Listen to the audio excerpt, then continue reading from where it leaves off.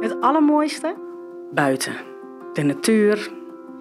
Elke dag is een verrassing en elke keer toch weer dat de natuur tot leven komt. Het is prachtig. Mijn naam is Corine Fleuren. Ik ben getrouwd met Han Fleuren en wij runnen samen boomkwekerij Fleuren. Dus wij maken appelbomen, pruimenbomen, perenbomen en ook vooral kersenbomen voor professionele fruittelers. Uh, deze bomen die gaan naar meer dan 30 verschillende landen over de hele wereld. Het is echt een familiebedrijf. Hè? Dus de opa van Han Fleuren is hier ooit al mee begonnen in 1922 in Balo. En dat bedrijf dat is natuurlijk heel klein begonnen ooit en is uh, uitgegroeid tot nou ja, zeg maar het internationale bedrijf waar wij nu uh, voor aan het roer staan.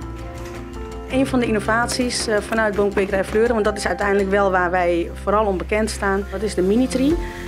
een fruitboom voor particulieren, voor in kleine tuinen, zodat je toch heel eenvoudig je eigen fruit kan gaan telen. En ik weet heel zeker, dat zijn de allerlekkerste appels die je ooit gegeten hebt.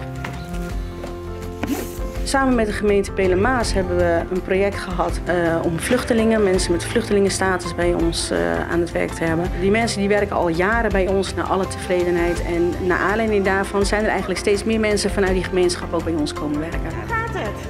Ja?